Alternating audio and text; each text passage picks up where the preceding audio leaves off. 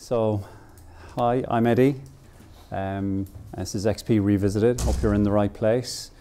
Uh, no females interested in XP. That's an interesting observation.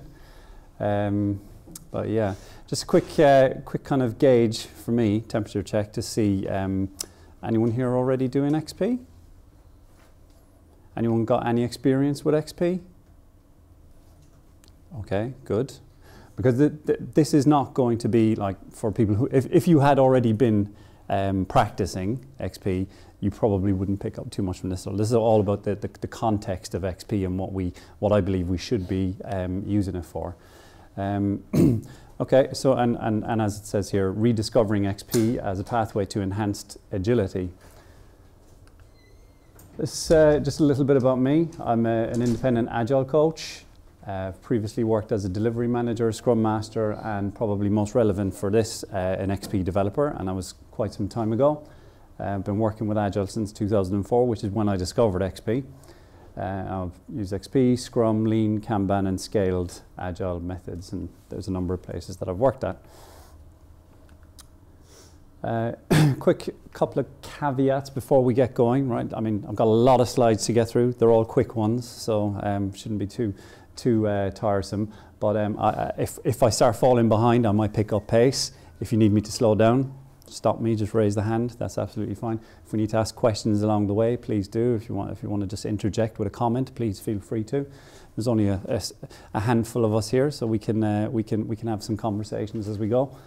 Um, yeah, I, I'm Irish, um, and I hide the accent well sometimes, not very well usually. Um, but if you can't understand what I'm saying, just it gets worse as I speed up, so slow me down. Um, I will definitely be having a few digs at Scrum and Safe in particular. I don't mean to offend anybody. If you are a die-hard Scrum or Safe fan, um, then we can certainly have debate and discussion around it. And um, it doesn't mean that I think they're awful and they're the worst things. You know, they're not like the work of the devil or anything, right? But um, I just think that we need to uh, be a little bit more mindful about how we adopt them. so, on with the show. Everybody ready? Strapped in? Let's do it.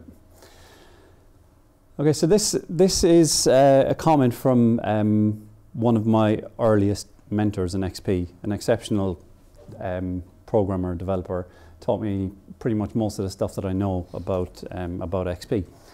And, uh, and this is the comment that, that, that he made. He said, um, as an industry, we're as, we're as good as we've ever been.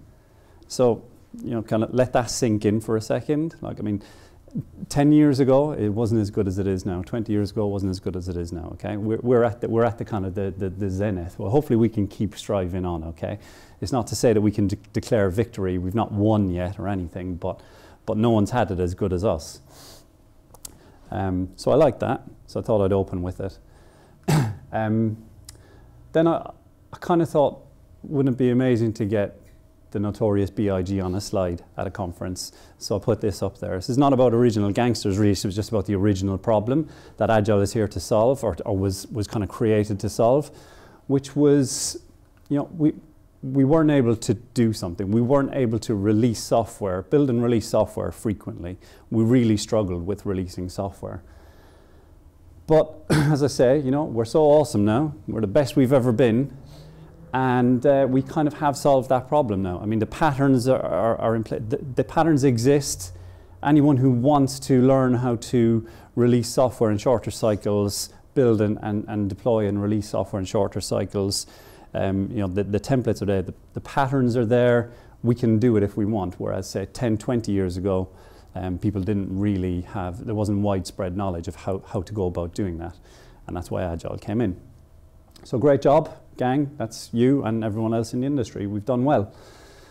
Um, and so what really did it for us is framework adoption. So we've kind of, we've brought in some patterns, some templates, some ways of working that help us to focus on known good ways of de de de delivering software that reduce risk um, and steered us away from known bad patterns of delivering software at that increased risk, okay? So things like working on smaller um, chunks of work, um, fewer items, um, shorter time scales. So instead of having a year-long development cycle, we're looking at two-week time boxes. Okay, so shrinking everything down, shrinking the problem down, and that is kind of really um, at the core of, of how we've become uh, the best we've ever been. Right? Welcome. That's all right. so, I want to talk a little bit about those frameworks. Okay. Um, Scrum. Everybody familiar with this? You familiar with this slide? this should be at this point, you know, where we are 20 years into the agile journey and Scrum's been around a little bit longer. Um, this should be familiar to people, okay? It's, you know, it's, it's the most widely adopted um, flavor of agile, okay? So this is from uh, the State of Agile report, uh, most recent one. Respondees say that, you know, there's 58% of respondees are using Scrum as their method of agile. That's a, that's a huge um, monopoly almost, okay? And then also you can look at down here, there's 10% using Scrum and XP hybrid, which we're going to talk a little bit more about later. Um, but then that kind of aggregates up to 68% using Scrum in some shape or form. So that's a lot, okay? And that's one of those methods of breaking down that problem into, into, into a smaller problem which enables us to deliver more frequently than we used to 20, 15 years ago. So the promise from Scrum is this. This is Jeff Sutherland, co-creator of Scrum. It's the art of doing twice the work in half the time, right? So who, who doesn't want that, right? Any CEO, any CTO, anyone involved in the business of delivering software, they, they, they're going to sign up for this, right? And they're going to use Scrum as their default uh, weapon of choice. Hands up if you're using Scrum. Okay. How many developers in the room, actually, just out of interest? Okay. Um, do you like Scrum? There's mixed, mixed responses there. We'll see by the end of this discussion, we'll see where you stand on it. uh, okay, so, um, so the art of doing twice the work in half the time. Uh, you know, that's a great sales pitch. Everybody wants that. But what's the reality, okay? I love this picture. It's just, you know, like actually when you lift up the blanket, look, peer behind the curtain, what is the actual reality with Scrum adoption, okay? So 58% have adopted it, 68% you could, you could argue. And, uh, and, and what's the reality? Are they doing twice the work in half the time? We'll see. So I think Scrum's a slice and dice framework, okay? Chops all those things up. Think back to that Scrum slide a minute ago. It's, it's about chopping things up, a backlog of small stuff, and then we churn through it, okay? It's slicing and dicing. And when I, saw, when, I, when, I, when I picked this image off the internet when I was putting this together, that kind of reminded me of something. And it was, uh, I, I re realized it was this. Are you familiar with this one? This is like a classic old school Agile 101 incremental versus iterative um, development slide. We'll, we'll touch on it again later on, okay? But, but this is kind of the, the incremental approach, okay? You, you take a big, a big solution, a big problem, you break it into small chunks and deliver it incrementally. And that's Scrum in a nutshell, really. You know, just increment towards your goal. Now, I don't think that that's twice the work in half in half the time. It's probably the same amount of work, and and we've probably brought the timelines in a bit because we're working in smaller batches, shorter shorter iterations, all that kind of stuff. Okay, so I'm not saying it's bad. I'm saying it's it's it's definitely um, got the kind of half the time part of that promise, but I don't think it's changed the amount of work. I think it's the same amount of work.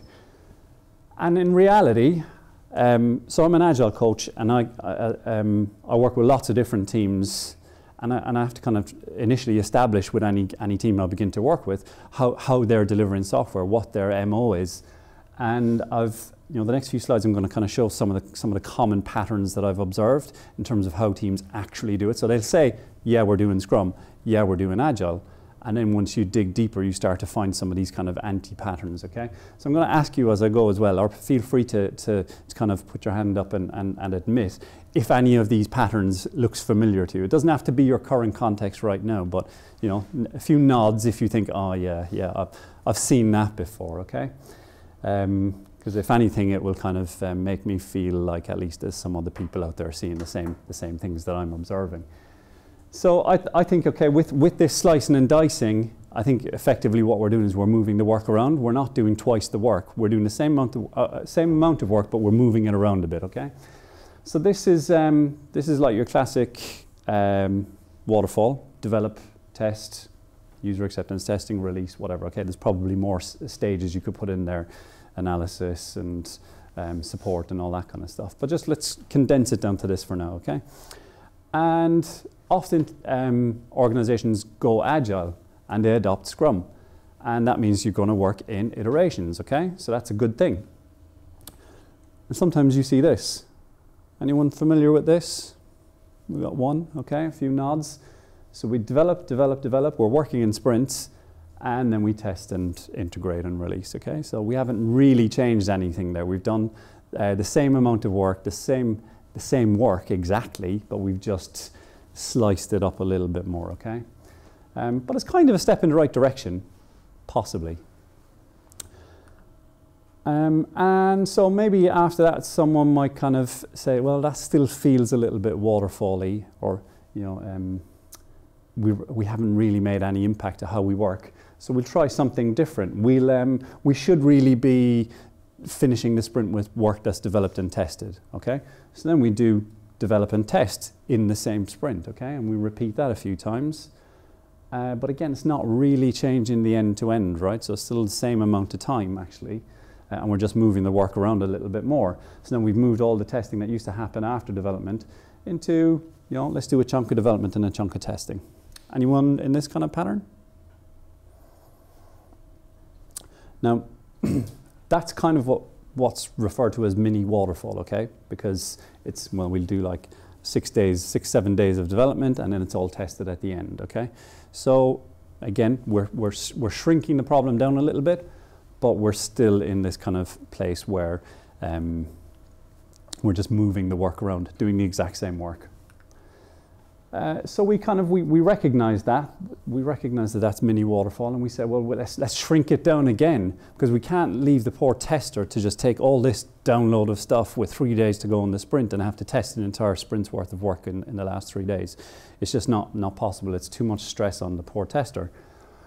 So we need to get the testers testing earlier. How do we do that? Slice it up into smaller chunks and deliver smaller chunks earlier so that they can test throughout the sprint. Good. That's a good direction to go in. Anybody doing that so you're starting to, if you, if you can get to that level, you're starting to, you know, kind of get into more of a cadence, smaller chunks, getting test feedback early. And that's good too, going in the right direction. But again, haven't changed the way we work. We haven't changed the work we do. We're still doing the same stuff, just sliced it up into smaller chunks, okay? And again, it's not having much impact on the end to end. That's the unfortunate thing. And there's a couple of messier versions of this that I want to point out, which are probably more realistic, and I hope that maybe some of you will, will, will agree. This is where you've got overlaps and carryover, okay? Um, so a developer in this situation, the mini waterfall, develops for six or seven days and then hands some stuff over to tester. Now that's the tester's problem, and I'm a developer and I need some stuff to develop, so I'll pick up another thing and I'll develop it. The tester's got no hope of testing that within the sprint, so that's going to carry over, okay? So now we're getting a little bit more unpredictable about what we can do in a sprint. That's not great. Um, but developers are just developing all the way straight through, regardless of those sprint boundaries. They're almost, it's a mockery of the sprint boundary in a way, um, and it's a mockery of the sprint commitment in a way. Um, and testers just test continuously. So really have, we haven't changed how we work at all. Testers test, developers code continuously. Uh, so we're just moving the work around a little bit and putting different boundaries in place that are kind of ignored. And then there's another version of this, which is with the smaller chunks. And again, we get to that same position. Not much time left in the sprint. Developer's got nothing to work on, picks up another story to work on, and it can't be finished within the sprint. Now, again, we're not making much inroads into the end to end. And when we start disrespecting those sprint boundaries, um, I think what we eventually uh, kind of get is the eventual aggregation of small chunks of work into a sensible increment of software. Okay, so and for me, that, that's, that's not agile, okay? That's, you know, um, that's like, well, well, we, we've, we've adopted Scrum. We should be doing some, we should be finishing our sprints with something that we could ship. That should be a target. But we carry stuff over. We, we bite off more than we can chew. So we didn't, at the end of sprint one, we didn't have anything to ship. We finished it off in sprint two and maybe a little bit of testing in sprint three. And then eventually we had something to ship. Um, and that's not twice the work and half the time for me, okay? It's like, it, it's, we are bringing in the timelines, but comparatively speaking, we're just comparing against how bad we used to be as an industry, right? You know, so stuff that we used to go a year without getting anything um, out from a team, or two years on a big project, or three years and then you can the project. I've been on those. Um, but yeah, so really we kind of get to that point where it's like it's good enough. It's way better than what we had, and it's good enough now. So you know, happy days. And I think that this is a big missing piece in the Scrum um, adoption, is people are very quick to adopt Scrum. They put all the bits in, in place, they put all the constructs in place, they do the practices, they do the ceremonies. But this is a bit that I often see overlooked, is the potentially shippable increment, the PSI. One of the things, if you read the, if you read the Scrum material and liter literature and, and recommendations, is you should be, as a team, finishing every single sprint with a potentially shippable increment. If I'm paying for a team of developers and, um, and testers and whoever else that's tag, tagged along to that team, uh, if I'm paying for, for them for two weeks of effort, I, I'd, I'd like to think that they could build something useful in that two weeks. It might not be something that's going to change the world. It's not going to, you know, change or shift a market, but it should be some sensible increment of software that, that satisfies some need after two weeks. I don't think that's a huge um, ask. But again, we, we, we, kind of, um, well, what I see, I don't know if you guys agree, but what I see is this is really kind of glossed over, the potentially shippable increment, until we have something that we can ship, potentially ship.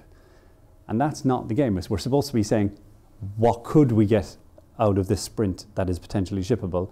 No, let's carry on developing. Developers develop, testers test, and eventually, when we get to a point when we have something, we can ship something. That's not the game for me. Um, and, I, and I start to question, like, well, why is this? Why are people glossing over this, um, this thing? And here's this guy again. Remember, he was here when we couldn't do something you know, earlier on. He's, um, we can't do something, just can't do it. What can't we do this time? Well, we've got a new problem, okay? So it's like whack-a-mole, right? You get rid of one problem and another one comes up. So I think teams struggle to build a potentially shippable increment of software every sprint. That's a tricky thing, okay? Um, but that's a, that's a real measure of agility. If you can do that, you are really quite agile. You're not peak agile, but you're doing really well if you can get to that stage. And that should be a goal for anyone who adopts agile, in my opinion. so I think there's a new, there's a new problem there. And that's what I'm seeing. And then I see teams who say, they, they say to me, we, we just can't do it. There's too much of an overhead. That release, the test and release overhead, the integration testing, performance testing, security testing, uh, uh, you know, kind of, um, in, yeah, all those kind of uh, long, kind of once-off hit testing phases that we do typically on a big project. Um, we can't we can't bake that into every sprint. Um, so how you know how can we do it? And um, yeah, and that's the question that, that I, I kind of turn around to them and say, well, how can you do it? If you carry on doing the work the exact same way that you've always done it, then yeah, you won't be able to make something that took six weeks. You won't be able to take a slice of that and deliver it in, in two weeks. You have to change the way you work. You have to change, learn new techniques, and, um, and that might give you a fighting chance, okay? So, unfortunately, with unfortunately for Scrum, it's not unfortunate for XP because I think XP has got opinions about this, about how you get to that point, how you enhance your craft, and how you get better as an engineer uh, or as an engineering team uh, to, to shrink that work down. And we'll talk about that later. Um, but Scrum doesn't give you any anything on this, unfortunately. They say, you know, it's up to the team to decide how they want to do their work, and they should inspect and adapt and get better and improve their processes fair enough, and they allow that autonomy for a team to self organize and choose themselves what techniques they want to use. But if you're adopting Scrum as a new, um, as a, an organization that's new to Agile, you know, you're, you're going to look to your adopted framework for the rules and guidelines about what you're going to do. And if it doesn't say anything about your engineering practices, then chances are you're going to gloss over it and carry on with the ceremonies and trying to, trying to get those nailed and see if, if that will make a difference. So there are genuine and real um, impediments from the organization that are stopping teams from um, delivering potentially shippable increments in a sprint. I'm not, I'm not disputing that in, in the slightest. Um, you know, th th there are big things that will stop a team from being able to, to deliver software in two weeks. Um, here's some of them from, um, these are the most common ones reported from the State of Agile report again. So you can, you can nod or grumble or cheer if you, if you kind of um, you know, hit any of these that are close to your heart. Uh, the company philosophy or culture is at odds with co core agile values. Uh, lack of experience with agile methods. I think that's a crucial one, right? So again, you're saying, well, we've chunk chunked all this stuff into, up into sprints. We're not really experienced at coming out of that sprint with a potentially shippable increment. So actually, that's stopping us from kind of reaching that level of agility.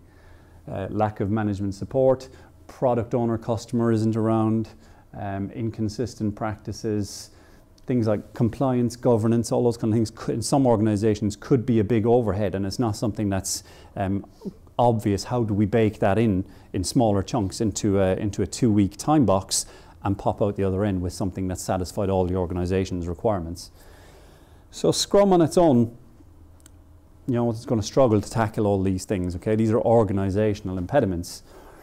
So we're going to need something new for that, okay? And there's another framework is probably what we're going to adopt. Organizations who look at this and say, we've tried Scrum, but we're not getting the benefits. Um, it's because we're too big and our organization has got all these impediments that we need to solve. And something like the Scaled Agile framework is probably more what we need because we're big, we're, we're at scale, and this is a far more suitable professional um, framework for us to adopt. We'll be taken a lot more seriously. 28% uh, of people who do scaled agile are now choosing safe. Anybody here using safe? Got one? One and a half? well, we'll see. You might see a flavour of it in a minute that you recognise. Um, Scrum of Scrums, 27%, so it's only just surpassed Scrum of Scrums as a way of scaling Agile up. Um, Scrum of Scrums really is, you know, kind of like that organic approach for, um, you know, we've got dependencies, we've got things in the organization and in, within other teams that are slowing us down or, or impeding us as a team. So we need to interact with those teams and align. Okay, so that happened organically. Uh, then SAFE came along and kind of put it on steroids and said we need structures for that stuff. We can't just have teams organically and kind of you know loosely going around and talking to each other. Um, so we need structures so this is the safe, um, kind of basic safe template. It's called Essential Safe. Uh, and what it's got is it's got teams, no, that doesn't work. It's got teams here, but you're probably going to have multiple teams in an organization. They go through delivering in multiple iterations, but they're aligned to an agile release train, um, which is basically a scrum of scrums, okay, just in layman's terms. Safe itself has got a few more little constructs and roles and responsibilities for specific people, but ultimately it's kind of a scrum, scrum of scrums on steroids, okay? And it looks at the program of work, okay? It's saying, well, what a team was working on and what a team, another team was working on. Um, well, if we've got lots of teams working on stuff that's all interconnected, that might be a program of work. Um, so that's what it concerns itself with. But then it realizes that there's many different size and type of and profile of organizations. So it, they realized they needed more flavors of safe to satisfy those um, those companies. And so they went a little bit kind of version um, crazy and brought around um, this kind of like um, uh, portfolio level because that's when you need scrum of scrum of scrums. And uh, you know enterprise I've highlighted here because this is starting to indicate that this is at scale. This is an enterprise. This isn't just a normal middle of the road size company with, where we can have just teams doing agile development on their own. We, we are an enterprise. We need more things to tie us together. There's a large solution version and there's the full version, okay? What you're starting to see is this is starting to, to, to look complex. It's starting to stretch up into the organization. Um, one of the things I like about SAFe in that regard is that it's starting to, it's, having those conversations up into, into the organization and out into the organization. That's cool. But the bit that I dislike is that is what's happening at the foundation level where there's teams doing Scrum and, uh, and how are those practices, um, how, how good at, are they at those practices before we start scaling everything. Uh, when I was looking for that, when I found that slice and dice uh, slide a while ago, um, I found this one as well, which I thought was kind of, you know, might fit in nicely here because it started even to, I think it's advanced slice and dice when we start getting into the scaled version of things. It's like how do we get how do we break a portfolio, slice it up into programs of work, slice the programs up into um, agile release trains, teams of teams that are going to work on these things. Um, and I just thought that that little box reminded me a bit of that ad, agile release train. So it looks a little bit train-like in itself, but maybe that's just me. So, um, so we've got new problems again, more new problems. It's whack-a-mole again, um, or whack-a-mole. Uh, another new problem was kind of the same problem, but it's exacerbated. So we teams struggling to build potentially shippable increments of software in every sprint. But now we've decided to scale that up and, and, and push it out into the organization, right? And, and lots of people are trying to adopt this and are going to copycat what the original adopters were doing. But if the original adopters were not releasing potentially shippable or were building potentially shippable increments of software in every sprint, then we're copying a, a poor pattern, okay? And now that's going to proliferate throughout the organization. So that's unfortunate, I think. And I think it's, it's, it's kind of you know, blind adoption of frameworks are leading us down these, these paths. Okay, we, th we think that once we get all these constructs and new labels for things in place, that that's going to have an impact, but it's not. Okay, we need to be able to change and improve the way we do our work. Dean Leffingwell, much maligned, he's the kind of creator of SAFe. Um, and to his credit, the SAFe material says you should be doing Scrum and XP. It says Scrum is for project management stuff. Right, project management stuff. And XP techniques should be complementing it for the engineering stuff, okay? And when you put those two together, you've got the basic agile building block that you should be scaling up from, okay? But unfortunately, that's really easy for people to gloss over. They think Scrum or XP, we're doing Scrum, that's good enough, off we go, let's proliferate. And also to his credit and to SAFe's credit, they say build quality in and use um, XP practices, and these are the ones they choose, okay? We're going to talk a little bit more about those later on. Um, well, most of them. Anybody here doing, doing these things? Hands up who's doing continuous integration. Okay. uh, keep, keep your hand up if you're developing on trunk or master. Checking in multiple times a day to master. Good. Everyone's doing continuous integration, we think. We're kind of fooling ourselves. We're going to talk a bit more about that later on. Um, so, SAFe, framework adoption, again, it's not really quite cutting the mustard for me in terms of being able to deliver software on a, on a, on a two weekly basis or less. When I started doing um, XP, we were working on one week uh, sprints, one week increments, uh, one week iterations. And that was tough. And we had, to, we had to change a lot about how we worked to be able to release software within one week period. Um, but if we'd carried on doing what we had been doing, there was no hope that we would ever do that. We had to learn new techniques. Uh, this is, um, is kind of a success story from SAFe, actually. Um, that I'm working on at the moment. I think it's, I think it's success for me, but it's again, it's all about what you're comparing to. Okay, so this is a, an organization I'm working with at the moment, and when we started off, these these are um, cycle times of when features were planned into sprints and then when they got um, accepted by the product owner at the end. Okay, so they're not even released, right? But they were good enough for the product owner to accept and um, and it's not even about what time they got they were conceived, which could be even further back again in the pipeline. It's about when we planned them in. So these these could be things that were hanging around for a year, but we only started the clock when we planned them in. Okay, we said, well, once we say we're going to do it, this is how long it takes us before you're happy with us um, with what we've delivered. And um, each each of these um, measurement points is is a PI. Are people uh, familiar with that? A program increment, which is it can be anything, but uh, typically it's about five or six sprints worth of work, right? So you're looking at a quarter of a year. Okay, um, so we do quarterly planning typically, and so one, two, three, four, five, six, seven, there's seven quarters there of results. Okay, and going back to uh, January last year the average time we had was 195 days for a feature to be accepted after it was scheduled in.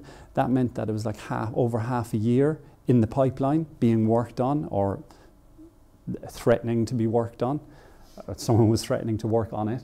Um, and so that means that PI after PI after PI, you know, this thing was still hanging around, okay? On average, this is average, not the worst one, okay? And by solving a lot of um, what I would call kind of macro uh, concerns, things where the organization was impeding us, okay? We didn't have product owners in place, we got them in place. They weren't getting stuff pipelined early enough, we got them to do that. Um, we sliced and diced, we broke big things down into smaller things that would flow through the system faster, okay? And we did all those things, we tackled all those organizational impediments that we were facing and we got it down to 44 days, which is a huge improvement. Now, if I start, if I came in today and looked at 44 days, I would say, oh my God, that's, that's long. We need to do some work here. But based on where we've come from, it's a massive um, win, okay? And, and we're proud of it. Something you'll notice is that the last three PIs, it's kind of plateaued a bit, right? And this is SAFe in a nutshell for me, or blind framework adoption without getting down into the nitty gritty of how you actually do the work is that you plateau once you solve all those macro problems if you don't know new ways and if you don't learn new ways of doing the work, okay? And this kind of rings through here because this is what I'm observing with this organization is that now we get to this level and we say we, we haven't got too much more fat around the edges that we can trim. You start looking inside in the team's practices and you realize that they're doing all those things, those patterns I showed and illustrated a while ago, which is, you know, developers haven't changed the ways they, they work, testers haven't changed the ways they work. So we need new ways of working to bring, start bringing this in, like 44 days, and we want that down to 10 days if you want to deliver a potentially shippable increment every sprint. So there's lots of work left to do. So are we getting better? Um, question, right? I think we are, we are getting better. As I said, we're at our best we've ever been but I think we can do so much more. And I think that we focus with the framework adoption on better ways of delivering software rather than developing it. The Agile Manifesto says, you know, uncovering better ways of developing software. Go back and take a look at it. It's developing software is what it says, not delivering software. It's kind of implied.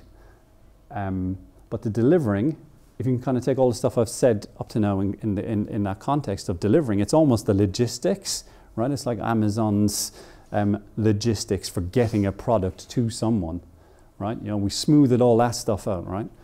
But actually, what's in the box is the right stuff, and how do we get what's in the box into the box? Um, so this is the thing. I think we are getting better at. We've we've gotten way better at delivering, and that's where we've had all our big wins. But the developing is where we need to, I think, get more of this because XP has been around as long as Agile has been around. Okay, there's techniques that I'm going to talk to you about now. They're not going to be. I'm not going to go into technical detail. I'm just going to describe the techniques and some of their benefits, but they've been around and I think they're being forgotten or just kind of adopted piecemeal by those who are being quite proactive about it. Um, I think this is how developers feel about Agile in a lot of cases. I think they're bored of the process. I think it's they're happy for someone else to take care of it. If they've got a scrum master in their team, that's his business. I'll just get back to, to doing my work the way I've always done it. Another ceremony, oh, so many meetings. I hear it all the time. And I see a lot of this in terms of how developers work. And for me, that, that's not agile development. Um, it's, I think, I think Agile has changed the game and software development has changed over the past couple of decades, right? It's a, it's a collaborative um, activity now. It's not um, an individual activity. Sure, there are times where everybody needs to concentrate and focus on solving a, problem, smashing something out, get the cans on, block out the rest of the world. No problem with that. But if that's all day, every day, then that's not agile development, in my, in my opinion, because there's not collaboration happening, there's no sharing happening, there's no um, shared understanding, there's no learning happening, like or minimum learning happening. This person is not teaching someone else something, is not learning from someone else that's in the team. And also not picking stuff up on the airwaves that is really valuable as teams are discussing and clarifying requirements and clarifying approaches just in discussion. Um, and the thing that I often get back from people around this particular issue is um, is you know just got uh, I just I just want to I just want to do my work. I just want to code. And I think you know like that's not the that's not the game we're playing anymore. And I feel kind of sympathy or empathy for someone who who got into programming with the view that this is the this is the kind of way I like to work. And this is an industry that supports that and happy days. And as long as I churn something out, eventually people are happy and I enjoy my work doing it. And I don't have to really do too much interacting with a lot of people.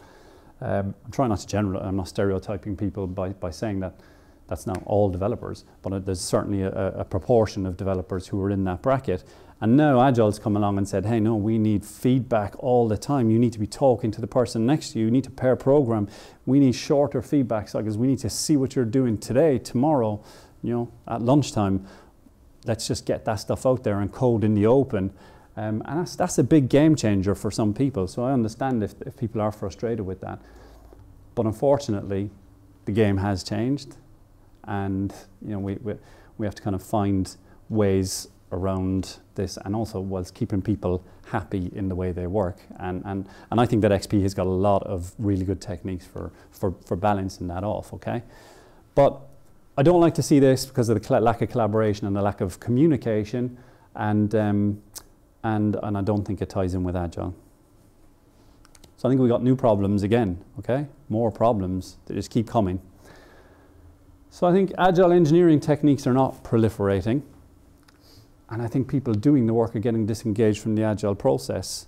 As long as it's happening around them, I think a lot of people in engineering teams are kind of happy for it to be a peripheral thing, as long as they can just carry on doing their day-to-day work and solving good problems as they go. Um, and why should you be bothered? Right? I mean, if, if we've never been this good before, and eventually I'm delivering stuff, then what's the problem? Right? We're as good as we've ever been. What's the problem? Why should we be bothered? That's someone else's problem, the agile stuff. Um, but I think it is a problem. I think that we've, with the frameworks, I think that we have um, just focused too much on the process, okay? Um, I don't think we've focused on the craft. If you're a developer or if you have engineers in your team who are doing the exact same stuff they were doing two, five, ten years ago, they've not improved themselves. They've not got better over time. They might have got be- they might get quicker at doing stuff because they've done it so many times. But are they getting better? And what what what kind of techniques are they learning, which are out there? get, to get better at the craft, which might then uh, get us into a position where we could do twice the work in half the time. Not just through familiarity with the work, but because we've un uncovered better ways of developing the software. And so there's this chasm in the middle, and I think that XP could be um, a really uh, good um, bridge between the process and the craft and between the, the kind of the, the, the, process and the engineering side of things, because it should be a joined up um, delivery mechanism, I think. So there, there, is a gap, and I think it's impacting motivation as well. Don't know what you think, that's my observation. Okay, so at this point, when I start to think about the motivation of engineers for adopting Agile and buying into, um, into techniques, new techniques, new ways of working, why should I bother? Um, I just want to kind of, um, you know, I, I, was, I was originally going to lead with this initially, just to kind of give you a flavour of who I am and where I've come from. But I thought I'd set the scene first and then say, well, actually, now let me tell you my story about how I started working with XP. So, the year was 2004, long time ago now. Um, and I was working at Fidelity Investments. I was um, fairly junior uh, web developer and came off the back of probably second uh, successive failed waterfall project. Um, and this new project came up, which I was just blessed to, to, um, to be invited into the team for, to say, oh, we're putting a team together for this new project. It's going to be this, and we're going to do it in an agile way. Never heard of agile before. What's that? I said, well, you know, we're going to get these guys in from ThoughtWorks. They're like the leaders in, in this space, and we're going to learn all these cool new ways of working that are, um, you know, going to mean that we're going to be able to deliver faster. And um, said, okay, cool, I'm up for that. Can't be worse than the last two projects I was on. So we started to shed the waterfall stuff, start learning all around the agile principles, um, learning around incremental and iterative development, two different approaches, but two better approaches than the waterfall um, approach. Started to, um, to learn a whole heap of new technical skills, um, different technologies like Spring and Jetty, DBUnit, JUnit, Selenium, but also different techniques. And this is, this is the key part to, the, to this whole discussion is the techniques, right? So continuous integration, TDD, BDD, these kind of things, okay? So these different techniques, it's not just technologies. But I was soaking all this up. Never was, never in my life have I been this engaged. And never in my career have, have I been this engaged in my work, where it was just this constant, constant learning from excellent agile practitioners, excellent technologists, superb programmers, and I'm learning all these things from them. Just, you know, young, energetic, enthusiastic, soaking it all up one week iterations used to fall in the door on a Friday evening, um, absolutely drained mentally from all the new stuff that I'd um, that I'd taken on board, but loved it. You know, I was I was I was knackered, but I was happy, um, and I couldn't have been more engaged, couldn't have been more motivated to come back in the next Monday and go again. And uh, I don't I don't see huge amounts of that um, with people in uh, you know uh, engineers in agile teams at the moment, and I think that's a shame. Um, you know, again, I, I, touched on this. This was very interesting to me. Again, you know, kind of incremental. I think that's that Scrum approach, right? But just for comparison, the iterative thing. This was what I learned back in 2004, 2005. Was how could you do the simplest thing that works and then iterate on it? You know, um, so simplicity and iteration. They were like kind of key. Um, differences to just chopping the problem up and delivering it incrementally. And you might be able to stop earlier with this iterative approach. So it gave you more options, and that was good. So, new ways of working. Again, this is stimulating, right, for a technologist. And we had just enough process to perform, right? So, we were doing XP. This was our, our flavor of Agile, because that's what ThoughtWorks were big into. And, um, and, and we weren't really overburdened with the process. We used index cards for writing our user stories. Um, they're deliberately small. Uh, you could only fit on, you know, uh, just a few lines of, of text to describe what you want to build and what the need is and what the requirement is. And you know what we used to do when we were finished with this? Done, stick it in the bin. Rip it up and stick it in the bin. And um, so that's that's low amount of, of, um, of overhead for the process. And now today we have people having constant debates within organizations as to whether we should use Rally or Jira for this stuff. It doesn't really matter, it's just a tool, okay? And people who really need, feel the need to preserve all these user stories we've ever worked on for uh, eternal posterity, is like, you know what, all the ones we did back then are in the bin, so, and we're all still alive. Is it important? Going to pick up the pace a little bit now. Um, so if you're not um, familiar with XP, I'm going to explain it to you in, in uh, really quickly as a comparison with Scrum. This, is, this picture is from um, a great blog post by Mike Cohn, Mountain Goat software guy, who says, you know, basically, here's a comparison. If you're not familiar with either of them and you observe a team doing XP and a team doing um, Scrum, the process is pretty much the same. It looks the same.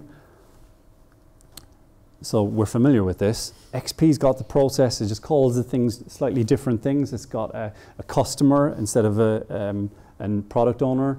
It's, it does sprint plannings, it calls it the planning game. It does daily stand-ups. Um, it does retrospectives. So it does all the same things, right? So the, the process is pretty much the same as what Scrum has.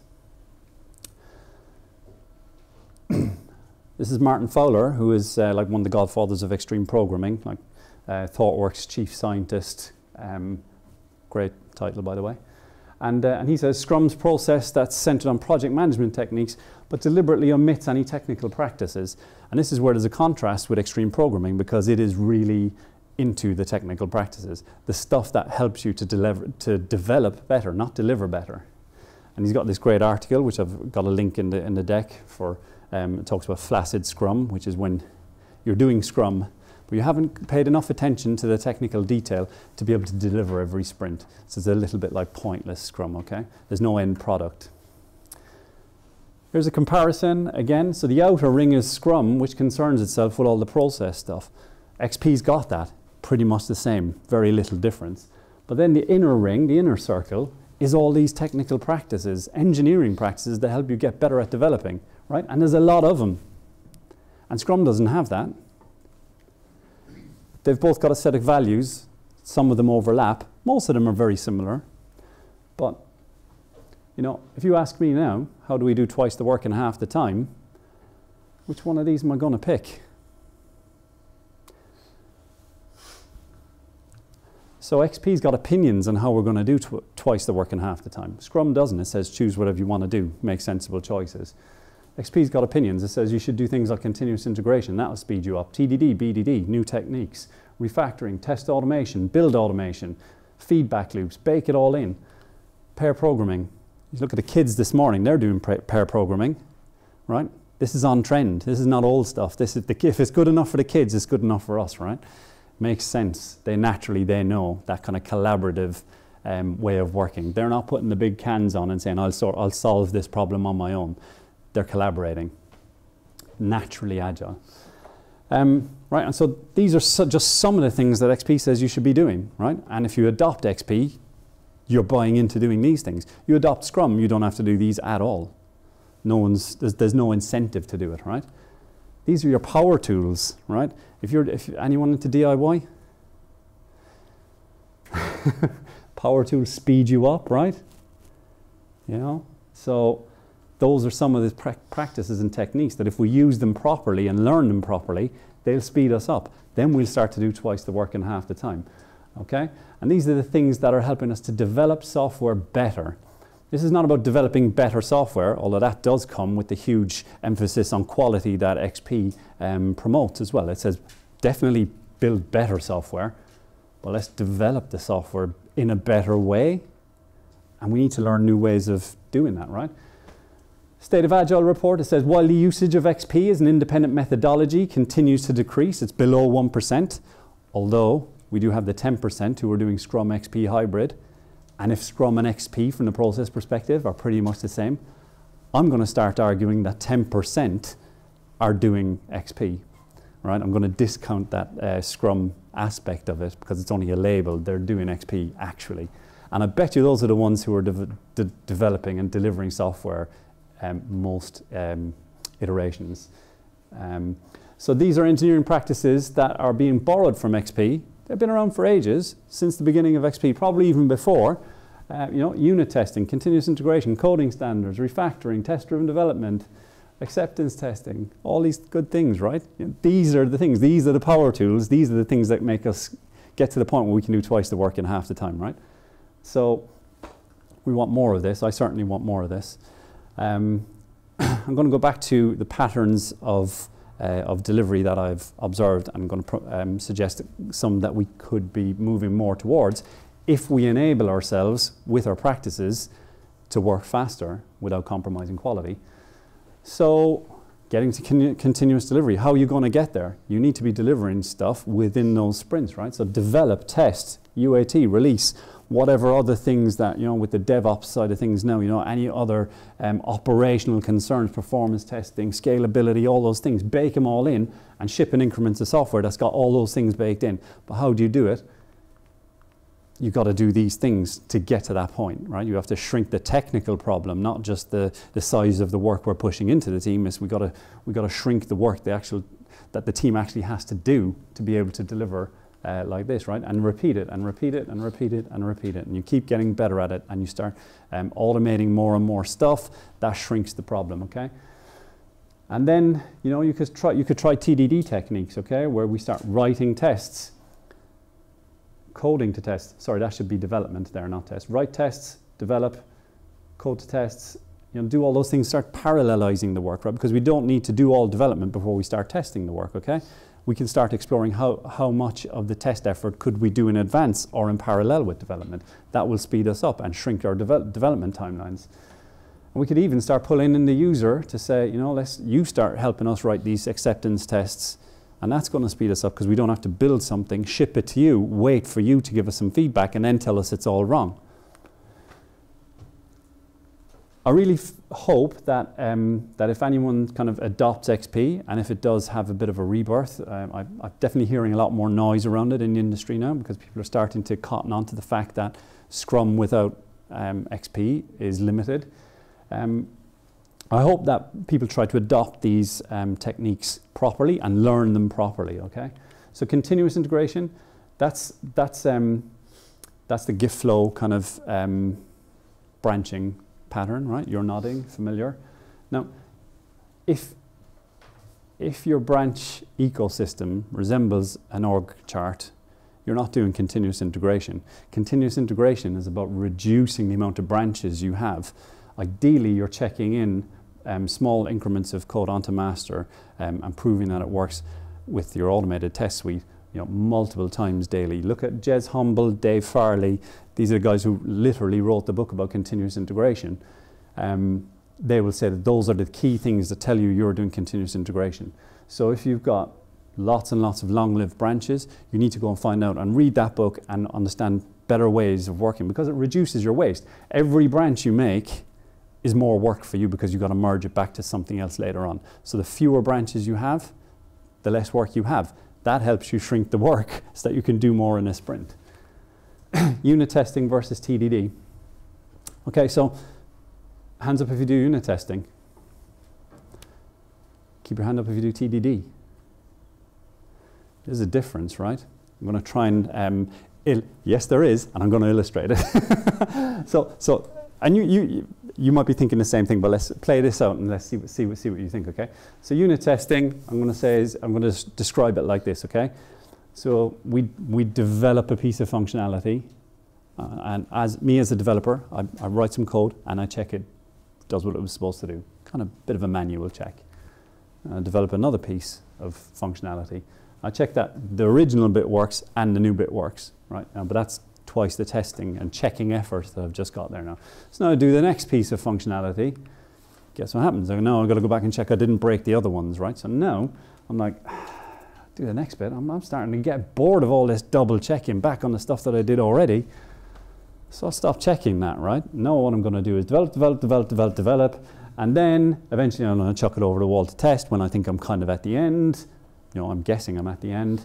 Testers like, well, uh, and then I'll write some unit tests. I'm, I'm, writing a unit test for the functionality that I wrote, okay? So that's, that's a pattern I see. It's not, it's not the only way that people do unit testing. I definitely see this a lot, okay? So that's unit testing um, that I see happening. TDD is very different, right? It says write a test that encapsulates the functionality that you want your code to, um, to exhibit. Develop the code for that. Run your test. Hopefully it works write another test for another piece of functionality, do the coding, run the tests, push of a button, off they go like that. They work. Go again, go again. Easy peasy, right? There's no incremental checking overhead or testing overhead as you scale your, your piece of functionality up. Um, so, you, and, and each new line of code you write is uh, you've got um, confidence that you haven't broken a previous piece. Yes?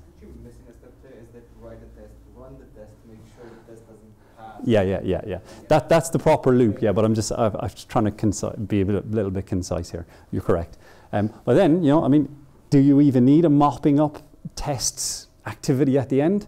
If all your tests pass, you've kind of proven your functionality, but I'm okay with someone else coming along and verifying that by double checking the tests and running them again and maybe doing a little bit more um, stuff to kind of say, well, because I'm not the person who wrote this code, I've got a more critical eye. I can check a few things that that person didn't do. So, okay, but you sh you are shrinking the amount of work you have to do here, right? This is another way for developers to get more efficient and engineers to get more efficient at how they do the work, okay?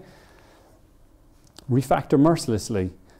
this was a, a, mantra we had back in 2004 on this team was refactor mercilessly. Um, anyone familiar with the Boy Scout rule?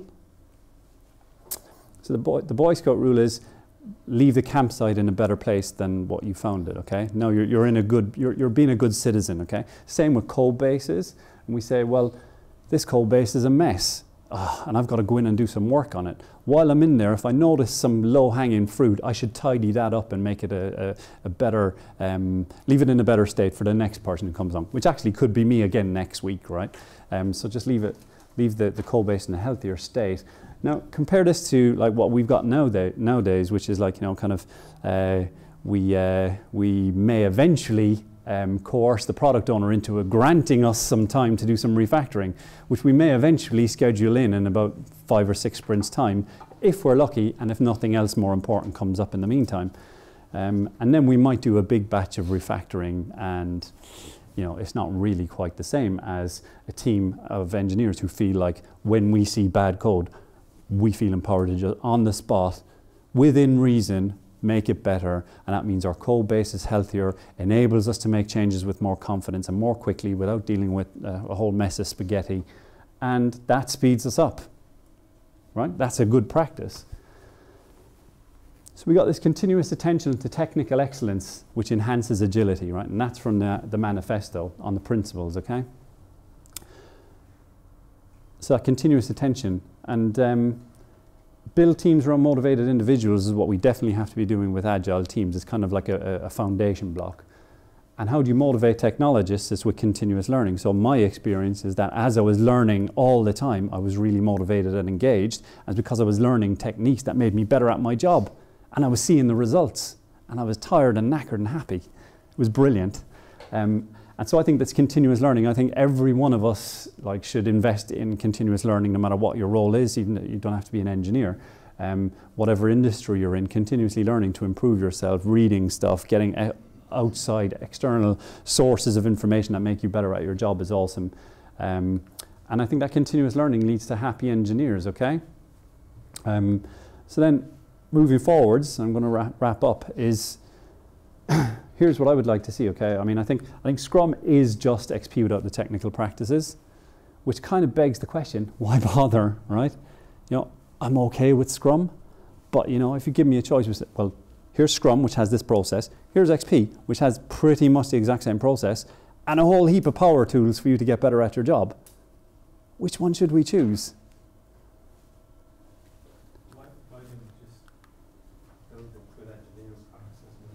Well, well, that's what people do. They say, well, we're, we're allowed to choose, or uh, Scrum says we can choose whatever we want to do, so we'll borrow these from XP. But I think there's a reason why you should then kind of actually say, well, should we choose XP or should we choose uh, Scrum? Because Scrum is a lot around project management, okay? Project management techniques. All these anti-patterns and problems we have around and arguments around estimating and prioritization and scheduling, they're all project management concerns. When I was working in an XP team, I'm sure we had those concerns. We spent way less time talking about them because we were talking about building software that worked and getting it out the door by the end of the week. Right? So actually, there could be a little kind of trick to play in terms of like making a statement that says, actually, no, we're not adopting Scrum because that brings with it a whole lot of baggage that we don't really want to um, deal with we recognize that the ceremonies are useful, we've got them in XP, and we're making a statement now around actually we value these engineering practices and the quality that we can get from, from applying them. Um, so then, so that's why, why I think you should be bothered about it. Scrum focuses on business value. Well, so, it's exact same, exact same. You've got the on-site customer who's the person bringing the exact same stuff that the product owner would bring. It's pretty much like for like. So all I'm trying to do is plant that seed in your head, right? Okay, think about it, mull it over. Um, and SAFe is only scaled up Scrum, right? So if a Scrum isn't working, no, there, I'm not saying all Scrum isn't working, but if you see the Scrum's not working, why would you scale it up, right? Again, why, why bother? And so based on where we are now, okay, 14 years ago when I was doing when I started doing XP, it was a bit radical. The word extreme, that wasn't good, right? People latched onto this no documentation idea. Companies didn't like that, okay? So you know what? It got superseded by things that were a little bit more organization friendly, a little bit more like what we knew in terms of project management, and that became the thing that the de facto thing that people copied and adopted. Um, but I think based on where we are now, the industry's improved so much that actually I think there's a really good point to, and a really good juncture to say, hey, when we're thinking about adopting Scrum, maybe we should think about adopting XP instead, because it's got pretty much the same stuff plus a whole heap of extras. And, and I think that that's the thing is we shouldn't just be viewing it as, well, let's do Scrum and then cherry pick the, um, the technical engineering practices when we need to. It's, it's a valid independent methodology. It's actually quite lightweight and it, it puts less emphasis and less value on the overhead as long as you're churning out working software. So what we want to do then is get to that point where we develop software better, faster and happier. And that's what I'm hoping XP techniques can do for engineering teams. So thank you. I hope you go and try it.